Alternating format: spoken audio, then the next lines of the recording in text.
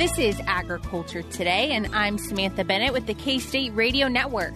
Joining us this Wednesday from the Kansas Farm Service Agency is Farm Program Chief Todd Barrows. He shares fast approaching deadlines for acreage reporting in ARC PLC, as well as all the information the Kansas FSA currently has on the new ERP Phase 2 and PARP, otherwise known as PARP, programming set to begin in the new year. Also ahead, K State Research and Extension horticultural entomologist Raymond Cloyd is on a mission to share more information on the role that beneficial insects can play. We end this Tuesday's programming with our weekly Beef Cattle Institute's Ask the Experts. This week, K State experts Brad White, Bob Larson, and Philip Lancaster answer a listener's question on how to best cull a small herd with conformation issues. That and more is coming up ahead on Agriculture Today.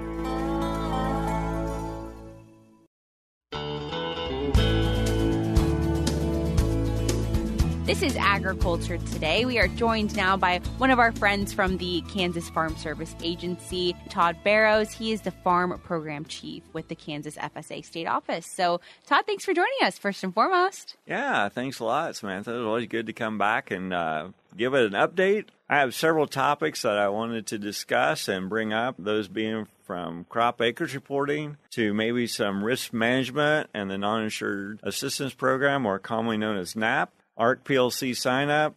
And then we have a couple new programs that was recently announced in a press release by the secretary, and we'll talk about those ERP Phase 2 and PARP, or Pandemic Assistance Revenue Program. Let's get right into it then with acreage reporting. I know there's some upcoming important deadlines quickly approaching, so let's talk through those. Yeah, I wanted to put that at the forefront because that is quickly approaching on Thursday, December the 15th, so right around the corner. It is the final day for producers to timely report their fall planted acreage and perennial acreage crops for the upcoming 23 crop year. So if you have not done so yet, you need to be making an appointment with your local county FSA office to report those fall planted crops. If you do not contact your local office by December 15th, we can still accept that acreage report, but there is a penalty fee with that for reporting after the deadline. Absolutely. So mark your calendars and get ready to get that done and turned in right away. And you mentioned risk management in the NAP program as well. Can you explain a little bit more on those? Yeah, I wanted to talk about that because a lot of times we forget about some of the tools in our toolbox and looking at the drought monitor for not only our state but surrounding states, we continue to see a heavy influence on drought being extreme or exceptional levels. So I wanted to talk about the NAP program and just remind producers, you know, under the non insured assistance program, we do have a tool that can be used in situations to provide some production and limit that commodity or production risk. Those are for crops where federal crop insurance to the risk management agency is not necessarily available. Like with the majority of our state in Kansas, two thirds to three fourths of it being in extreme to exceptional drought. As you look forward to the 2023 production year, you might want to be thinking about and discussing with your local FSA offices what options are available to provide some crop protection and mitigate that risk on those livestock forage crops. NAP has been around for a lot of years. But recently, in the last five, we've increased the coverage level into a two tier system where we still have the basic NAP coverage, which is 50 55, but we also now have buy up coverage. So basic coverage provides 50% production loss coverage at 55% of established price level, while buy up coverage starts at the 50% production loss coverage, same as basic, but it's 100% price level and increases on 5% increments on the production side up to 65%. Now, the one thing to remember though is there is a premium fee for the buy up coverage, and buy up coverage is not available for grazing crops. Absolutely. Some good reminders for sure. And continuing on with good reminders, ARC PLC is another popular program, and sign up for that is quickly approaching as well. Yep. ARC PLC program is one of the bigger programs, and we are currently in that enrollment sign up period for the 2023 crop year. And while that deadline for enrollment is not until March 15th, I just want to discuss it with our producers and rangers in order to maybe help with the office workflow and just put out some uh, encouragement there. After the first of the year in January, because of a couple new programs that are targeting to be implemented at that time frame, that's going to be an extremely busy time for our county offices and our staff. So I would like to encourage producers maybe they want to go ahead and that normally desire to wait and i understand that to make the best decision to see what the commodity prices do or crop conditions whether they improve or worsen between now and that march 15th go ahead and schedule your enrollment now. And then certainly if something changes that we aren't aware of as far as a price change for commodity or you see crop conditions change you can always come in up to March 15th and revise that enrollment, but at least you got your in in the door and we got you covered if need be. Right now, we're at 30% enrollment for Kansas as compared to last year, so we got up two thirds of the way to go. So, yeah, I would just encourage you know look at the forecast, look where we're at today, go ahead and get that appointment, get in, get that taken care of because it is going to get really busy after the first of the year. Great advice for sure. I mean, we'll probably feel like we've blinked and March 15th will be here. So great to keep in mind. Absolutely. Yeah, and then you wanted to also talk about this new ERP Phase 2 and the PARP program. So let's talk through those. Yeah, I wanted to bring those up because those were recently in the news and the announcement with Secretary Vilsack, and we are getting questions from producers on those. So I just wanted to elaborate a little bit about those two programs and, let the listeners know, the farmers and ranchers, while we want to answer their questions and we feel for them because there's some that desperately need the benefits, right now, understand we are limited to the amount of information that we can discuss on those two programs because of the Office of Management and Budget in DC has not signed off on the federal regulations or what we call the rule yet. And while we do anticipate a final decision for the rule being made shortly after the first of the year, until that determination has been finalized, things can change. And so at this point in time, we really can't talk much about the program. We can just kind of elaborate on the basics on what was announced in the press releases. So even though you know you ask the county office questions and they're not responding it's because they really can't until that finalization of the federal rule or the federal regulations gets published. Now what we do know and what i can share with you is that these will be both revenue based programs first of their kind as far as fsa administration. They're based on and you'll hear this new term allowable gross revenue and we'll uh, be sure and have more information coming out on what is allowable gross revenue, and that informa- that uh, allowable gross revenue term will be coming from your IRS Schedule F and or your IRS 4835 farm rental income or expense forms. Uh, again, allowable gross revenue is going to be a new term that you're going to have to familiar, familiarize yourself with, and, and that's what we'll have to get used to all producers will be eligible to participate in these two programs, both the ERP Phase 2 and the PARP program, or PARP, as Samantha said, regardless of participating in previous programs. And why I bring that up is because just if you got an ERP Phase 1 benefit, that doesn't limit you from applying from Phase 2. And then, as I stated just a minute ago, we are anticipating a January kickoff of these two programs. And since all producers potentially could be eligible for those programs, we are looking like that will be a very heavy workload for our county offices. So any other programs you can get done before then will be appreciated. Uh, we're looking at most likely mid to late January for that kickoff. Allowable gross revenue is a producer certification and producers, you will need to work with your CPAs and tax preparers on how to determine what is your qualifying revenue from your tax forms. And if you do not have a CPA or tax preparer, FSA is entering into, and there will be a list of cooperative contract providers you can contact and also help you through that process. Just in short, PARP or PARP will cover a revenue shortfall during the 2020 pandemic year when compared to the higher revenue year of 2018 or 2019 tax year. and that would have been that revenue shortfall would have been caused by loss of market availability for the pandemic. ERP phase two is also a revenue shortfall, and this is during tax years 2020, 2021, and or 2022 caused by crop loss from an eligible qualifying weather event occurring in calendar years 2020 and 21 when compared to a benchmark tax year selected by the producer. So similar programs, but yet different.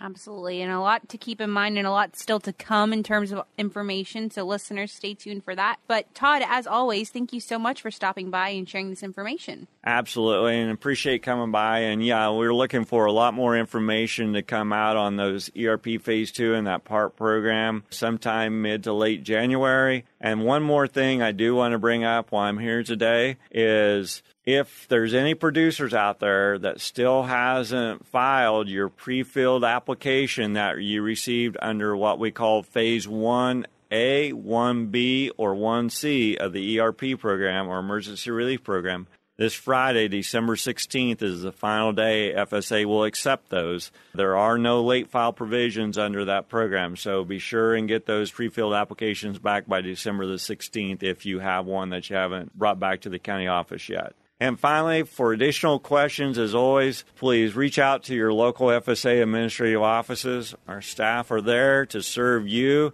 the farmer and or rancher, and explain these programs and benefits so we can get the benefits where they justly deserve. That once again was Todd Barrow. He is the farm program chief with the Kansas FSA state office, joining us for an FSA update. We'll be back with more shortly on Agriculture Today.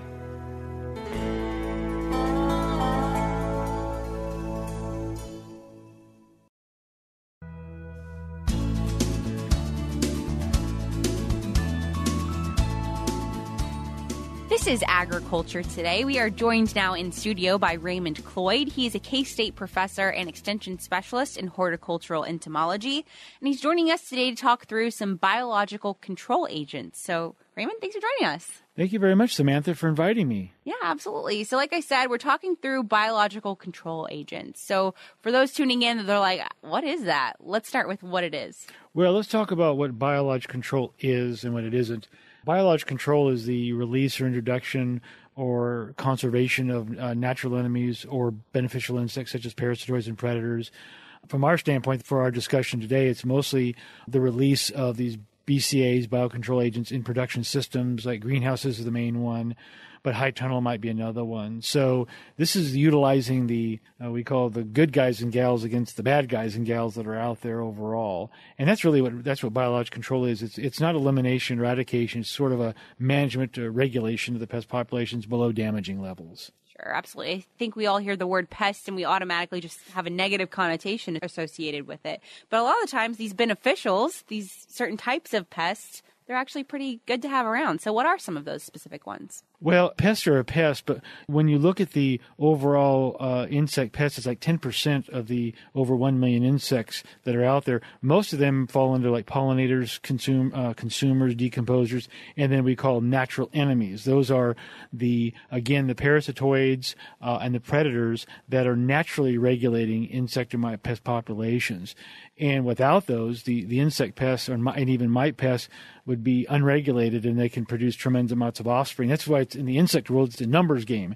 Many of these insects produce tremendous amounts of offspring because they know mortality, not just from natural enemies, but because of weather and other factors involved. But yeah, this is that, that we call the balance of nature, as Rachel Carson would say, of the natural regulation of pests by the natural enemies that are existing already in the environment. Absolutely. So we have some specific ones we want to talk through today. What are some of those? Well, what we're doing is uh, one of our goals is to develop more of these extension publications related to biocontrol agents. We have many of them related to insect and mite pests, but uh, there are a lot of ones that we work with in our laboratory and others that uh, we think need to have the information out there. And one of them, the first one we're developing, is on row beetle. Dalotia coriaria, which is a, predatory bug of fungus gnat larva, which is a pest in greenhouse production systems and western flower thrips pupal stages. So that's the first one. We'll be developing additional ones coming in the future next year on whitefly parasitoids.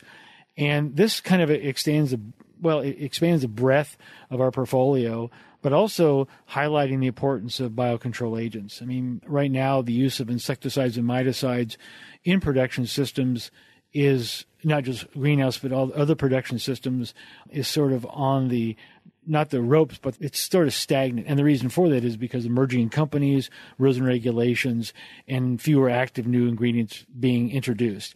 The main reason for switching is the resistance, the resistance issues to many of the insecticides and miticides to various insect or mite pests. So we see producers in Kansas switching over to biocontrol agents because of that main factor of resistance and the overall uh, the benefits of it. There's always a cost issue, but when we look at overall the cost of releasing BCAs or biocontrol agents is actually is less than applying a insecticide because these insecticides are uh, substantially expensive because the greenhouse market is basically a specialty market. It's not like the cash cows like corn, soybean, rice, and, and those crops. But also, there's the aspect of no personal protective equipment, no restricted inter- entry intervals, no resistance. You can apply them anytime.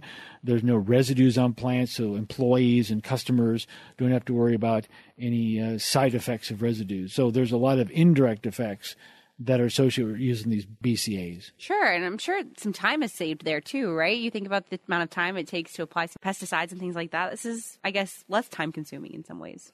Well, that's a good point. It's not that it's too time consuming, but you've got flexibility for application. Mm-hmm. If you're going to apply an insecticide and let's say has a four hour REI, you apply it at night because you don't want anybody in there. These biocontrol agents, you can apply them during the daytime and morning when anybody's there.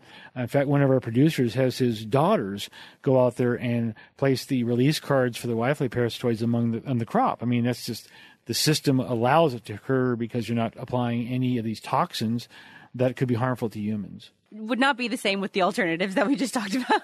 No, probably wouldn't have your young daughters out there. No, not when you no. They're, well, they're not even certified, so yeah, yeah, you, they couldn't do it anyway. Sure. I know you said you're hoping to release more material on some of these biological control agents. So, in the future, where can producers look to find more of that information at? Well, again, everything is going to be related to the bookstore, the Kansas State University bookstore. Your uh, counties offices, extension offices may have these, or they can download them easily online as PDFs. So nothing has changed there, Samantha, from what we've done before. I mean, these will be available either online at the bookstore or as PDFs uh, on request. Yeah. Absolutely. And you mentioned the rove beetle. Are there any other insects that we should be looking out for for publications on? Well, I think if the planets are all lined up and things go to plan, the next one I'll do is Eretmocerus eremicus, and that's a fancy name for a whitefly parasitoid that attacks the greenhouse and sweet potato whitefly, which are major pests in greenhouse production systems and also outdoor production systems. The one after that will probably be Encarsia formosa, which is another whitefly parasitoid.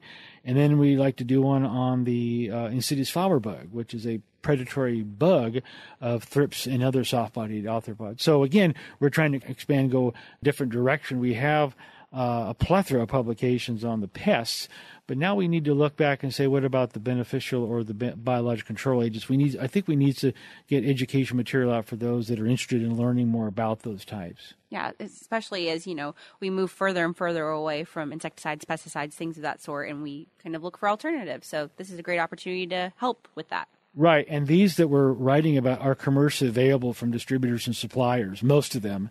So the the spectrum of the information is, is very wide.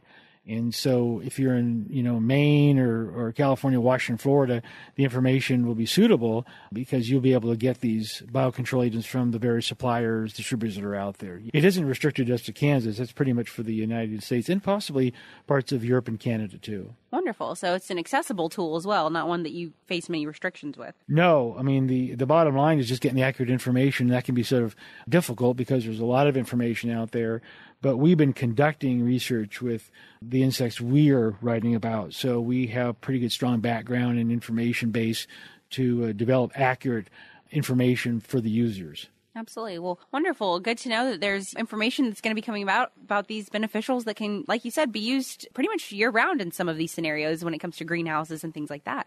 Yeah, in greenhouse now some greenhouses production systems will go fallow, but some like 5H greenhouse, the Jason and John Hoopy and Wamego, they're year round. So we're working with them a three year project for biocontrol, and been very highly successful on the bedding plants, uh, chrysanthemums and poinsettias.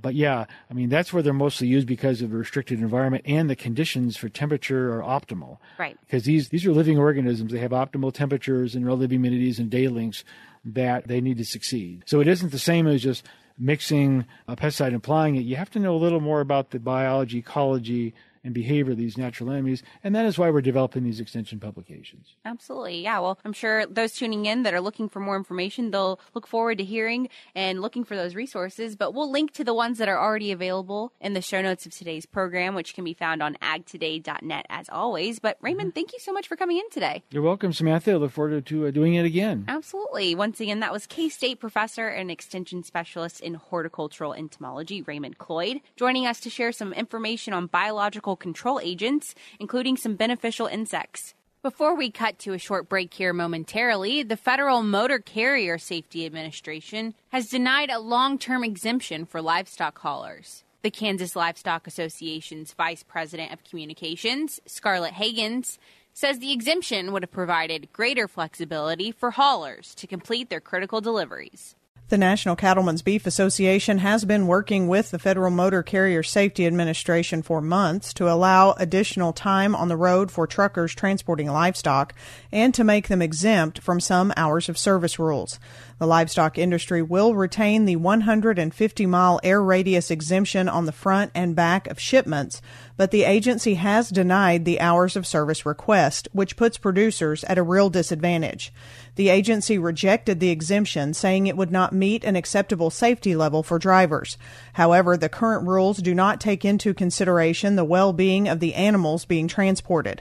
Hours of service rules limit livestock haulers to 14 hours of on duty time and a maximum drive time of 11 hours, then require 10 consecutive hours of rest. These time requirements are insufficient for most trips made by livestock haulers and fail to accommodate the realities of hauling live animals across the country. Unlike drivers hauling consumer goods, livestock haulers cannot simply pull over for several hours when they run out of drive time. Livestock cannot be left idle on a trailer for long periods of time. Unloading can only occur in special facilities, and repeated loading and unloading strains animal welfare. The National Cattlemen's Beef Association will continue to look at any possible legal or congressional recourse. Staff also will again petition the Federal Motor Carrier Safety Administration to reconsider or compromise. I'm Scarlett Hagins. Once again, that was Scarlett Hagins, the Vice President of Communications for the Kansas Livestock Association, sharing insight on the decision made by the Federal Motor Carrier Safety Administration to deny a long term exemption for livestock haulers. We'll return with more shortly on Agriculture Today.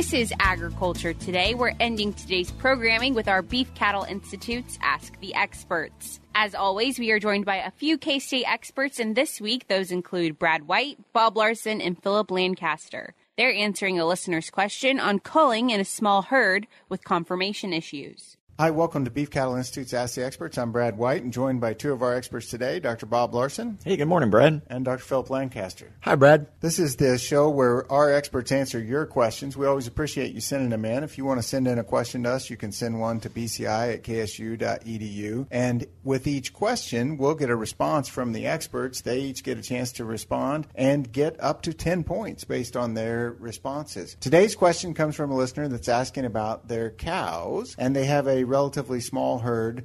They have some smaller cows. They have some of those cows that have gotten older, may have uh, misshapen hooves, they may have bad udders, but they keep getting bred. And his question was, should I cull them? And if so, when is the best time to get the value back out of those cows? Is it right after they calve when I sell her as a pair? Is it when she's pregnant? Or should I wait and keep her in my herd as she comes up open? Philip, what are your thoughts? Well, I'm going to first address whether you should cull them or not. And, you know, one of the most uh, greatest expenses of getting a new cow into the herd is that developing that replacement heifer. And so if I have a cow that is producing a calf, even though maybe it's a little bit smaller, and she's an older cow that's been around for five, six years, she's making me money. She's paid off her cost of uh, develop her, developing her into a cow. And so she's making me money at this point. So unless she does not wean a calf, then I think I would probably keep them around, especially in a commercial herd. But I might make sure that I'm not going to keep replacements out of her because she, especially if she has some physical issues that are genetic. Excellent. So I think Philip's answer, and I'm going to give him eight points for following the "my truck is paid for" theory. Mm-hmm. Bob, Well, and I'm actually going to mostly agree with Philip in that I, I agree that the most important hurdle is that she's pregnant, and that really makes me want to keep her. But I'm going to say, yeah, some of these foot problems, some of the udder conformation problems, some of those are not going to get better. And I'm really concerned about them getting worse over time. And I may want to sell her at preg check time because she is pregnant and she'll probably bring more than an open cow and i may want to sell her now so even though i'm kind of agreeing with philip that I, i'm biased to keep her maybe the way i'll answer it is if i had five or six of these i'd probably pick the half at least that i thought were going to be the most trouble and go ahead and cull them now that's kind of a half answer yeah, I agree. Half answer, but I was going to give you more points, but you ran a little bit over time. i always do I still got to take off points. It's in our contract. So you've got seven points. So, Philip, as you talked about culling those cows or keeping it, now let me reframe the question. You're going to sell a cull cow. Would you, A, sell her as a cow calf pair, B, sell her as a pregnant cow? You know, that's a tough question, Brad, because the cow calf pair, you know, looking at it from a buyer standpoint, calf's on the ground. So I know she's got a live calf with her, and I'm willing to pay more for her because you've taken a lot of the risk of her losing that pregnancy or the calf dying at birth or something like that out of the equation. But from the seller's perspective, I've got additional costs into her to get her to that point from preg check to calving and then and selling a live pair. So it's really a tough call on that. What's your cost of getting her through the winter? And in the listener's question, they mentioned this year feed costs being really high. So for this particular year, that may not be a good decision. I'll lead with, of course, it always depends, but my bias would be I would probably prefer to sell her as a pregnant cow just to avoid the additional costs of feed and the labor of getting that calf on the ground. So I would prefer to sell her as a pregnant cow versus waiting for her to calve and selling them as a pair. I totally agree. I think you shift some of the risk out. You don't have that feed cost. Now, based on the year, there may be times that it makes sense to feed Yeah. her and get her forward. So, what we ended up with today was Philip ended up with nine, and Bob, you ended up with eight. You made a good comeback. Good comeback. right there. I thought it was in the cards, but it just wasn't. So, this time we were able to have a great question. If you have a question for us that you'd like to ask, you can send us an email to bci at ksu.edu. Once again, those were K State experts Brad White, Bob Larson, and Philip Lancaster for this week's BCI's Ask the Experts. That concludes today's programming. We'll be back with more tomorrow on Agriculture Today.